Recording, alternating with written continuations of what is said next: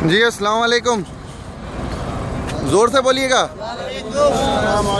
आप लोग अभी मक्का की ज़्यारतों पे हैं ठीक है? अभी आप लोग अरफात के मैदान में हैं। बिल्कुल सामने आपके जो दिख रहा है ये जबल रहमन है ठीक है? आप लोगों को 20 मिनट का वक्त दिया जा रहा है। आप लोग ऊपर जाके ज़्यारत करके दुआ करके आ जाए।